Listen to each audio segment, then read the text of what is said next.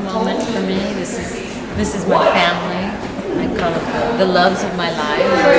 And um, this was taken about a year ago in a, at bat mitzvah in a photo booth.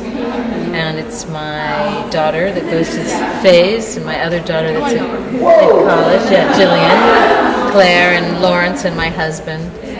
And this is very precious to me because it's not often that we're all together anymore because everybody's moved away. So here we are all put into a box together doing just different variations. Okay, so you, your husband, your two daughters, and my son. And uh, the reason that there's the grid on here is that I, after the bat mitzvah, I thought what matters to me in the world. I went back to my studio where I paint, and I grew this up into a six-foot painting. And, um, and that started a year-long process of uh, history of family portraits. Me as a child, and um, so this painting turned into a year of paintings. So. You should bring in a picture of the painting. I want to see the painting. Yes, this is my grandfather. Um, it's this is like the one picture that I picked. Really? Um, he passed away, which is why I took a picture of him specifically, because I'd like to remember him. Um, so yeah, that's why there's this. Uh, that's my sister again, and me. Um, she looks little. And, I picked you for my dad because of the height, but also because you are Jenna's mom, which kind of works with the whole family thing. And you have short hair. So, so yeah, that's my family.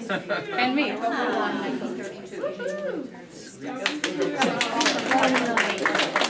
My father. Judge Lowe. September 1986. Julia Butterfly Hill. June 1975. Jerry Skip.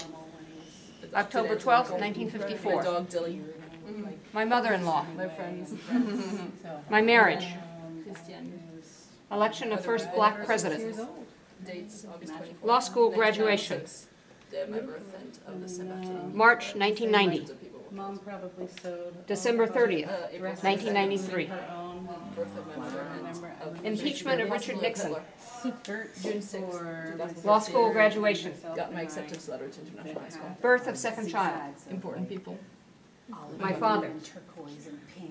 Hurricane Hazel. Hitler wasn't born on that day, thank you. Osam al My father, my friends. Mark Childs, Jerry June 1975. Yeah, but I remember she made those. Alphonse, June 1972. Clara, Marie, The end of the millennium. My sister and I were all still in touch. June 6th. President Obama. Received my acceptance letter.